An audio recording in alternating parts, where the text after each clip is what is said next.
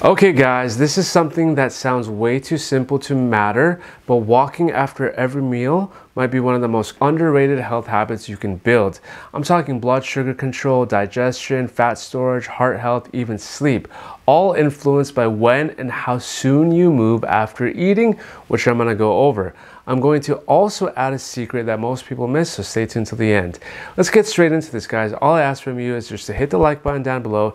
It tells YouTube this is worth showing to more people, so if you like learning about health from a scientific perspective in a calm and collected way, consider subscribing too. So the timing part, guys, right? That's where the magic really happens. Timing matters, so let's break this down because I'm excited to share all this with you guys. The moment you eat a meal, especially one with carbs, your blood sugar starts rising within about 10 to 15 minutes. Your pancreas responds by releasing insulin, which tells your cells to pull glucose out of the bloodstream. If you sit completely still, that glucose hangs around longer, which means higher insulin spikes, more glucose being pushed into fat storage, and more stress on your metabolic system over time. Now, here's where walking comes in. When you start walking within 5 to 20 minutes after eating, your muscles begin pulling glucose out of your blood without needing much insulin at all. This happens almost immediately within minutes of muscle contraction your muscles basically act like a sponge for sugar. That's why even a short walk can blunt the blood sugar spike dramatically. This is because you activate your leg muscles right when glucose is entering the blood, and muscle contraction can pull glucose into cells independent of insulin. That means less of a spike, less insulin demand, and less metabolic stress overall. Even a 10 to 15 minute walk during that post meal window has been shown to significantly blunt postprandial glucose peaks, with the biggest benefit happening when the walk is done soon after eating, not an hour later. So again, guys, that 10 to 15 minutes after a meal can significantly reduce post-meal glucose levels, especially after carb-heavy meals. And you don't need a power walk. A relaxed conversational pace is enough to activate this effect. Now let's talk digestion because timing matters here too. About 15 to 30 minutes after eating, your stomach starts emptying food into the small intestine. Walking during this window helps stimulate gastric motility, meaning food moves through the digestive tract more smoothly. This reduces bloating, reflux, and that heavy, sluggish feeling people get after meals. It's one of the reasons people who walk after dinner report less acid reflux and better digestion overall. The thing is that when you sit slouched or lie down after eating, which most people do, that increased pressure makes it much easier for stomach contents, including acid, to push back upward through the lower esophageal sphincter, which is the valve that's supposed to keep acid in the stomach. Walking keeps your torso upright and uses gravity to your advantage, helping food move downward through the stomach and into the intestines instead of back up into the esophagus.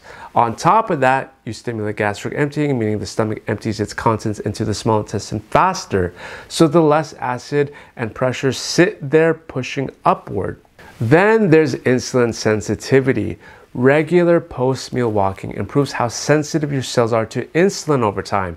This means less insulin is required then to manage the same amount of food, which is huge for preventing insulin resistance, metabolic syndrome, and type 2 diabetes. And again, the timing matters. Walking right after eating is way more effective than walking hours later for this specific benefit.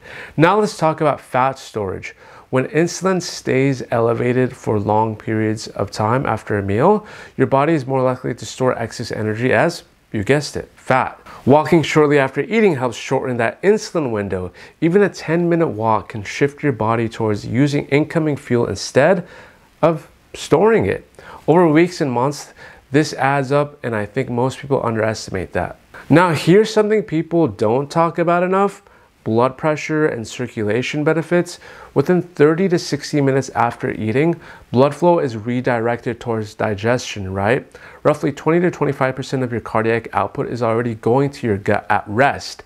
But after a meal, that can jump to 30 to 40% more, especially after a large or carb heavy meal. That blood is being shunted to your stomach, intestines, liver, pancreas, and portal vein system so your body can absorb nutrients, secrete the insulin it needs, process glucose, and package fats. But when you start walking, and the key is at a slow, casual pace, your muscles suddenly demand more blood flow in other areas. Your body responds by redistributing that circulation back towards skeletal muscle, while it still supports digestion, of course. Muscle contraction activates GLUT4 transporters, which allows glucose to be pulled into the muscle cells independent of insulin. That means blood sugar is cleared faster without requiring as much insulin, which is huge for metabolic health, guys. And one thing to remember is that the biggest post-meal glucose spike usually happens 30 to 60 minutes after eating, depending on the meal. If you walk within 10 to 30 minutes after finishing a meal, you're intercepting that spike as it's forming, not chasing it later. If you wait too long, say 90 minutes or more, you've already missed the peak. Insulin has already surged and the benefits are reduced. Studies consistently show that 10 to 15 minutes of walking started soon after eating lowers postprandial glucose more effectively than longer walks done hours later. Now let me give you guys a bonus tip here. Adding vinegar to the meal itself, consuming one to two tablespoons of vinegar like apple cider vinegar or red wine vinegar, either right before the meal or mixed into the meal, has been shown to reduce post-meal blood sugar spikes by roughly 20 to 35% depending on the carb load. Vinegar works by slowing gastric emptying and improving how sensitive your cells are to insulin, meaning sugar enters the bloodstream more slowly and is handled more efficiently. And let's not forget sleep. A short walk after dinner helps regulate circadian rhythm and glucose handling, which can improve nighttime blood sugar stability. Stable blood sugar, fewer 2 a.m. wake ups. This is why many people notice they fall asleep faster and, and sleep deeper when they make post dinner walks a habit. So, to recap, what's the sweet spot? Start walking 5 to 20 minutes after eating. Walk for 10 to 15 minutes minimum.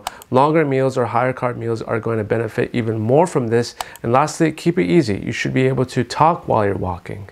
And guys, this isn't about burning calories. This is all about timing your movement to match your biology. And once you understand the physiology, it makes perfect sense. You're literally working with your hormones instead of going against them. And if this made you rethink what you do after meals, hit the like button for me. It helps more people see science based content like this.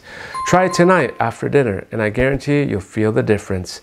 Happy walking, guys, and until then, watch these videos I made on Tai Chi and forest bathing to lower cortisol, and I'll see you guys on the next one.